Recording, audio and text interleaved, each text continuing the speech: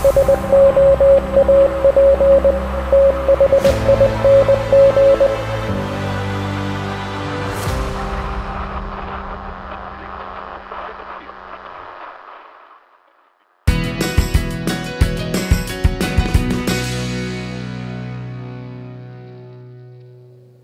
in the Soap Thing project, I am going to do a shave with Shannon Soap's Woodland Frost.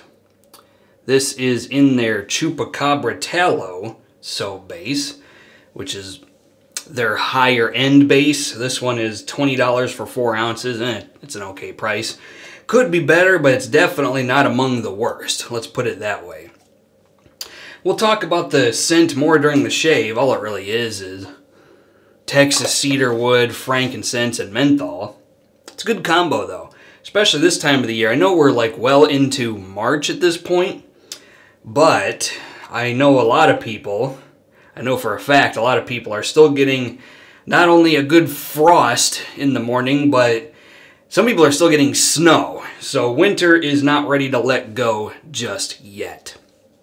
That's the shaving soap I'm going to use today.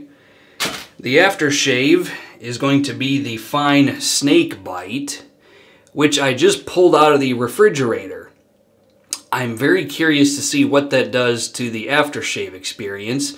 So if you are really trying to piss off your wife or girlfriend, go ahead and start putting your aftershaves in the fridge. That will do the job, no problem at all. I guarantee you they're going to want to speak with you urgently regarding your life choices if you start doing that. Now, the razor. Yates Precision 'Merica razor with a third use feather stainless blade. This is going to be the final shave, uh, unless I'm trying to get crazy and see how long I can stretch this. Not likely much longer than this. And the brush is going to be from HL Thater. It's my 4292 fake horn, 22 millimeter. Uh, three band badger. It's definitely a high quality badger now, that's for sure. Good stuff from HL Thater. It's a shame they had to go out of business. That just sucks. Okay, let's do a shave.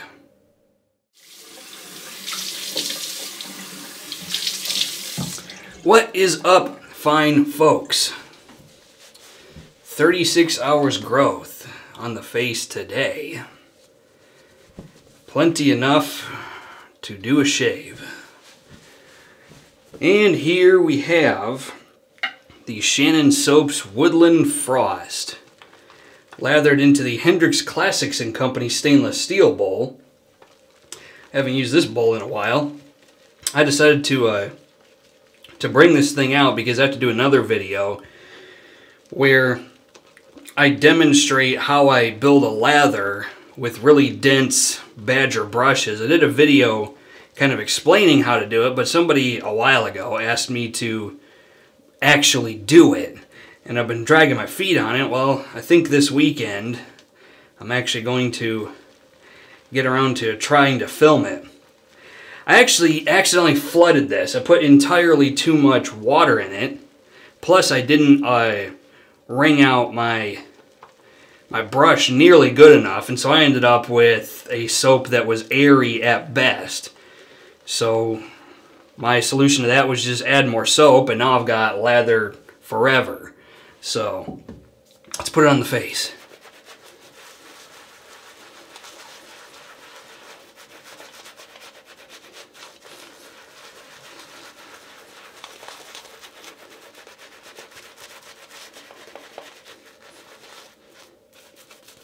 Scent strength on the Shannon Soaps Woodland Frost. Is a quite strong 4 out of 5. The scent is definitely asserting its dominance over my nostrils.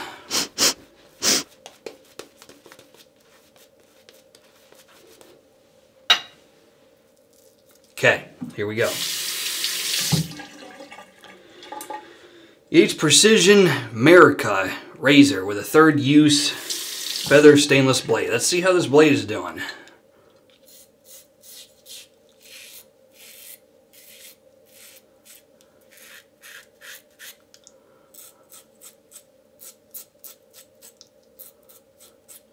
Still very nice. I might have to keep this in the razor and just keep on using it until it craps out.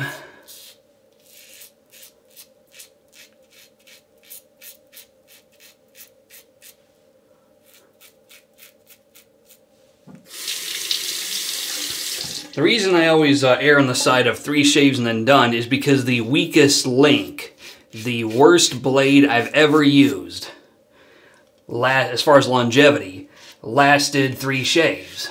So, I just decided there's no way I can't get three shaves out of practically everything. Some some uh, double-edged blades can go a fair bit further, depending on how you take care of them. I take my blades out of the razor and disassemble the razor completely uh, after every shave. So my blade has a chance to air out and it won't uh, develop uh, like rust particles and stuff like that on it quite as fast as a blade that maybe is left inside of a razor. I don't know. I don't know if there's some science behind that or not, but but that's what I do.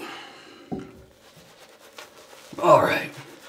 So the scent on this, like I stated earlier in the video, is not super complex. It's Texas cedarwood, frankincense, and menthol. Talked to Shannon, and when I asked her for the notes, she was quite proud of the fact that she um, crushes her own menthol crystals and, you know, puts them into the soap. So, it's real menthol.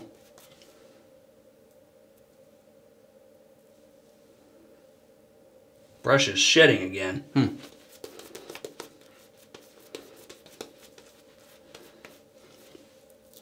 So what does this smell like? Well, it smells like Texas cedar and menthol. Uh, the in fact, I would say the Texas cedar is such a strong note that the frankincense just gets blown away. I don't smell frankincense at all with this. Uh, I smell a smoky cedar wood and I smell menthol, which is interesting because the actual menthol effect on my face is not that strong. It's not super weak, but it's not a a death by menthol shave, kind of like a fine snake bite shaving soap.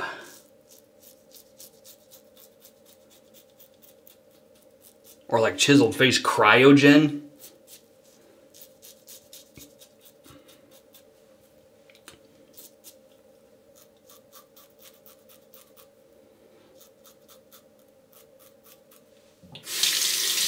That's my impression of this soap is that it's a it's a fairly basic smoky take on cedarwood. It's quite a quite a smoky experience.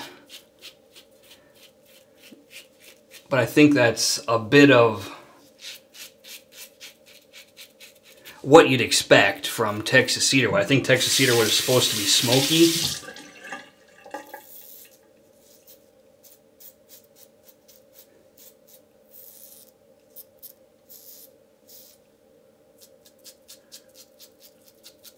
If you have uh, Stirling, Texas on fire, this is like a really lightweight version of that.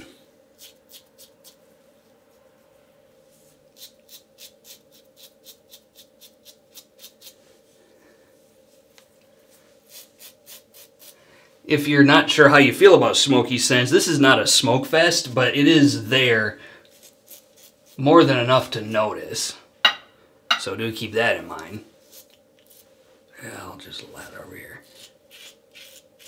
Got to get those those nooks right here, and the right below my ear where I often have to get in there multiple times to get every every bit of hairs out of there. Okay, let's do a rinse.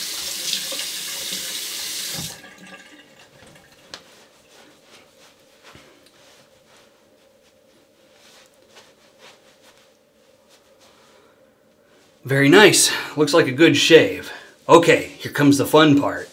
I took my fine snake bite off camera and I put it back in the fridge. Actually, I put it in the freezer. So let me go get that, and we're going to come back and see what happens. I'm kind of scared, not going to lie. Well, here it is, a finely chilled fine snake bite. Let's see what happens. The fuck? Oh, there we go. Frozen shut. All right. Oh god, this is, stuff is cold.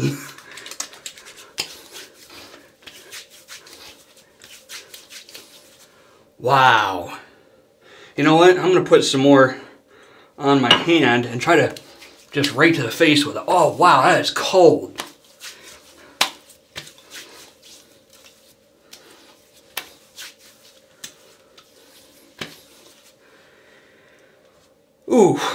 That is almost painful. Whew. Yowza. Okay, that is interesting. Oof. It burns. It burns something crazy. Oh, okay. Gotta love it. Okay, here is Shannon Soaps Woodland Frost. Could I recommend this for a purchase? Uh, if it were still available, I might. This has a tendency to get made occasionally, and even when it is, it's not for very long. So if you're interested in something like this, if you see it come out, pick it up because it tend, tends not to get made in very large quantities and it tends not to be around that long. So Something to ponder with that. Shannon Soap's Woodland Frost. Okay. Questions, comments, put them in the comment section of the video. Otherwise, until next time, this is Soap Thing telling you, shave like you mean it. Thanks for watching.